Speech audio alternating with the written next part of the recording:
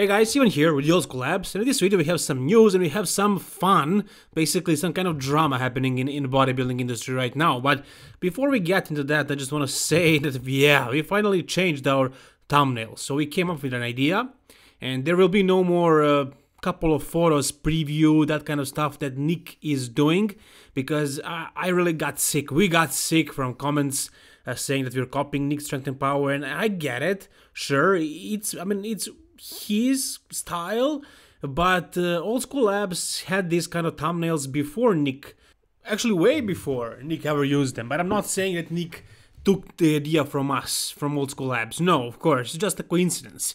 What I'm saying is that we have the right to use them.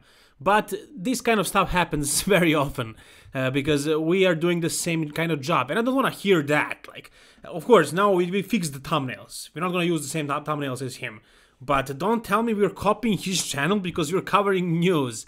There shouldn't be only one news outlet out there, right? There should be others. And if you're gonna talk about who's copying who, then we're all copying Luimarco because he started this kind of stuff. But nobody's copying anybody. It's just news. That's how it's done in bodybuilding. It's happening on YouTube. It's not happening on TV. It's happening on YouTube. So that's it. We're not copying anybody. Uh, thumbnails, yeah, this was really efficient way to make thumbnails, but this kind of stuff have started to happen very often. Uh, as you can see, we posted this uh, this thumbnail first, this video first, and uh, an hour later nick posted the same thing pretty much. It's almost the same thumbnail. But it's because we are both covering the news that happened in bodybuilding and also because the format of thumbnails and uh, the colors are pretty much identical. So yeah i get you guys. And uh, we, we we read your comments and we decided to change this. So i don't want to hear anymore you're copying strength and power type of comments. I don't want to see that we fixed this. I hope you're gonna like the new thumbnails. Tell me what you think about the new thumbnail. I think the idea is pretty original, it's different. It's not just a different kind of font or different color. We wanna stay with, with our colors because those are the colors of old school labs, but we're gonna change the, the whole format of thumbnails. So tell me what you think about that. Anyways, let's get into the video now. Okay, now let's get to the fun part of the video, the, the, news and the drama that I was telling you about. I don't know about you guys, but me personally, I love me some drama and some drama is happening in classic physique. So Chris Bumstead posted this video. Just himself showing off his back, showing his back improvements. Uh, this is one of his weakest body parts, arms and back. Did he improve it? Well, it's questionable. We can see that, we won't be able to see that until he steps on the stage. Once he trims all the water and fat, we'll see what kind of progress he made. There were people, though, saying that he made no progress since last year, that his back is still lagging, it's still the same. And that's all fine, analysts and critics can say that kind of stuff, but when a competitor says that, this kind of stuff happens. So here you can see uh, what uh, Logan Franklin, who is, well, everybody is saying, and he's probably hoping to challenge eventually and beat Chris Bumstead. Uh, so he commented, as you can see right there. He wrote looks same as last year, basically saying that Chris made no improvements and he's laughing to him. And then Chris Bumstead replies, whatever you need to tell yourself to get to sleep at night. And then Logan replies, seeing no improvements definitely helps me sleep, bro. so these two guys went back and forth a little, and uh, I don't know how serious this is. Like, is Logan really thinking that? Is Logan really thinking that uh, he can beat Chris one day? Is he really that confident? I mean, challenging the champion, somebody who's not even, uh, who never competed the Mr. Olympia stage, it's cocky. I mean, what he's doing right now is uh, making himself look better, bigger, whatever. He's hyping his name because people are doing that and he embraced it. He is presenting himself as a challenger for you know a win in classic physique category. For all we know, he can be third call out. We can't be sure about that. We never saw him on the Mr. Olympia stage. These guys at the Mr. Olympia stage are really good, like they're freaking beasts. So we can't know about that. But based on the photos and his previous performance and other shows, we can make a pretty good conclusion uh, like we did with uh, Hunter Labrada, for example, and Nick Walker. So we saw that based on photos, and uh, those guys didn't fail our expectations. So I think the same thing is going to happen with Logan, but we don't know it yet. Although it, it really seems like Logan is just joking, having fun, and making things more interesting for us fans. And I, I love it. I personally love it, whatever the reason is. But then this happens. Ian Valliere, the big daddy, comes in.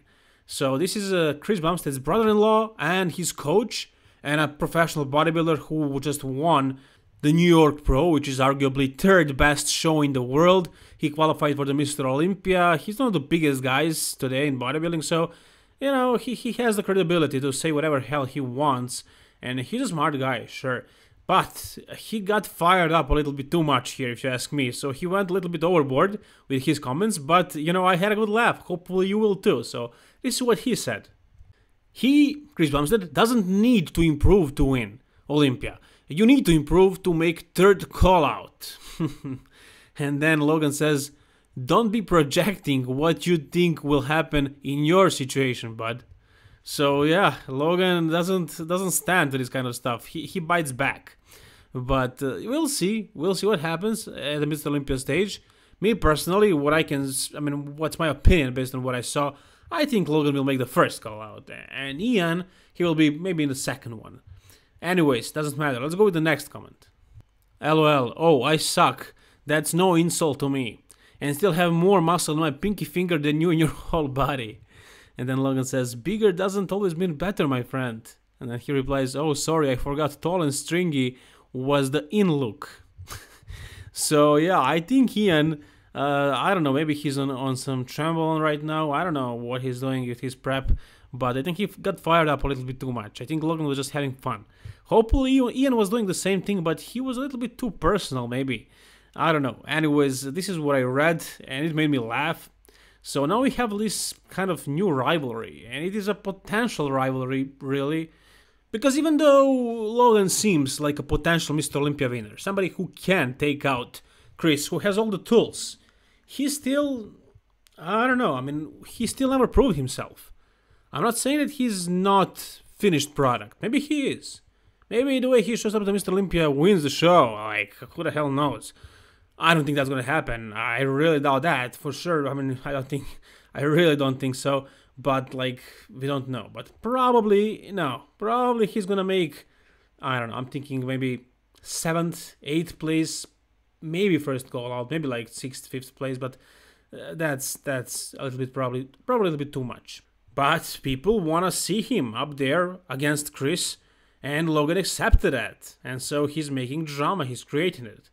What is happening with the drama with Breon Ansley? Chris versus Breon, is that a thing anymore? Well, I don't see Breon saying stuff like he was saying before. I feel like he feels more secure now. He was a little bit insecure before when he was saying those kind of things. He probably wasn't even sure if he can win the Mr. Olympia again. So I think that was just him projecting his own insecurity. But now he started looking really damn good. And guys, right now, honestly, I have Breon winning.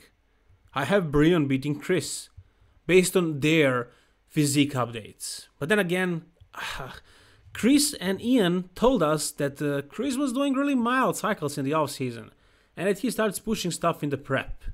So if that's the truth, and if nothing happens bad with his condition, you know that stuff with with kidneys and immune system, if everything goes well for Chris, sure he can make crazy improvements by the Mr. Olympia. But right now, if the show was held right now, I mean they're not in shape, but based on what I see right here, oof, uh, right now I have Breon winning it actually. It seems like Breon made some crazy improvements. He looks really sick, he looks really impressive. More impressive than, than Chris, in my opinion. What do you guys think?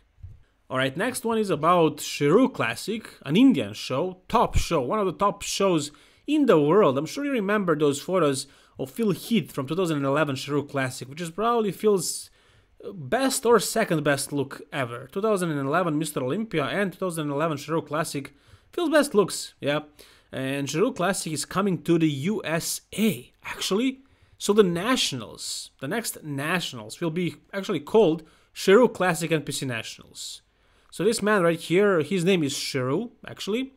Uh, he, he decided to partner up with uh, Jim Manion, who is the president of the IFBB. and in Orlando, in America, there will be nationals and they're going to be called Sheru Classic Nationals. And there is a chance for 90 people to win their pro cards at this show. So that's amazing. That's pretty cool. And um, I'm sure that the reason for this was finances. So I'm sure nationals will be really good nationals this year. And I usually watch them a little, even though I'm not based in USA. I don't know really the, the amateurs, the guys. I know about the amateurs from my region, from Balkans over here, but I don't really know many of them from the USA, but I know about some because I follow some coaches, and those coaches are, are, are coaching those amateurs. So I follow that a little bit, but this time around, I'm sure it's going to be very much fun, and uh, it's really interesting that Sheru Classic is actually coming to USA. And here we can see another partnership, maybe. Maybe we can call it that. Big Ramy and Dan Solomon. Of course, Big Ramy, one of the biggest bodybuilders of all time, who just received an invitation to compete at the Mr. Olympia stage. And um, Dan Solomon, who is the president of the Mr. Olympia. He, he is the main guy, basically. He's not the owner, but everything else is about him. So, uh, Big Ramy in this post says he talks about uh, not competing last year because of his shoulder injury uh, he didn't have a chance to compete, but he was there in the audience. He watched it, and he finally met Dan Solomon. So what I'm thinking based on this photo, I mean, this is something I, saw, I spoke about before.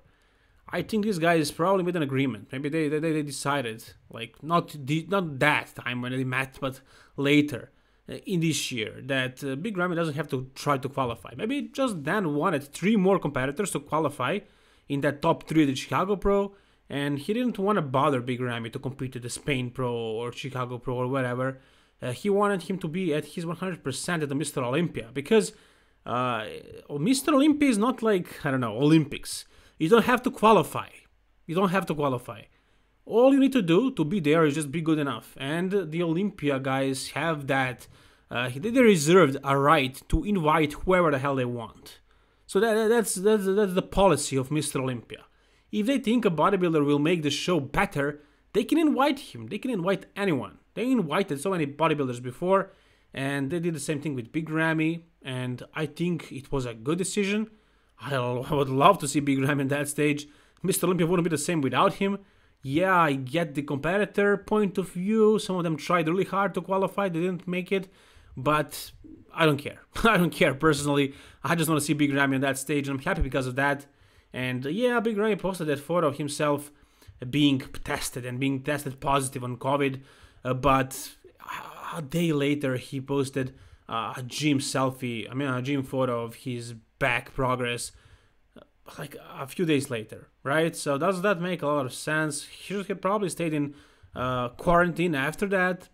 So I really think he faked it. I think so. I don't know. I don't have any facts. I don't know. And I'm sorry if I'm making a mistake, but that's just my impression. Anyways, we're gonna see Big Ramy in that stage, and I can't wait to see him. It's gonna be amazing. Many people gave up on him. They say he failed with his conditioning so many times so by now, and he will not succeed again. But guys, remember, he was second at the Mr. Olympia 2017.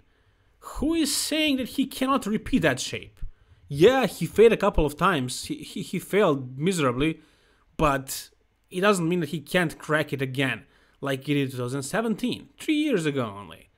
So yeah, I, am an optimist. I'm, a, I'm an optimist for sure, and I think he will do it this time around. With Chad Nichols in his corner, I'm sure they figured out the formula, and I'm sure they will be ready. I'm sure Big Ramy, I'm not sure of course, but I think, I really think that Big Ramy will figure it out and he will be conditioned. Maybe even Mr. Olympia. How about that? What do you think? And the final story for you guys is uh, Arnold Schwarzenegger, unfortunately, having another heart surgery. Is it heart? Because it says uh, he had to fix his aortic valve. So I, th- that's close to heart. So I'm not sure if this is considered a heart surgery, but he had a couple of heart surgeries and uh, he, he got fixed a little bit again. He says that he's fine. Uh, he shared photos of himself walking in a park. So he's good. He's good. Everything is fine he didn't want to worry us. He didn't tell us that he's going under again, but he's fine. He's good. He, he's safe. So I just wanted to share this with you guys and um, speedy recovery, Arnold. Anyways, guys, that's gonna do it for this video. If you enjoyed it, please like it. If you want to see more, subscribe, and don't forget to tell me what you think about the new thumbnails. And do forget to tell me that I'm copying Nick Strength and Power because that is not what the old school labs is doing. No, it's just news. Guys, relax. Thumbnails, that we fixed, but don't don't don't do that anymore. Don't tell me that. I hate to see those comments. Anyways, once again, thank you so much. Subscribe once again, and all the best, guys. Keep it old school.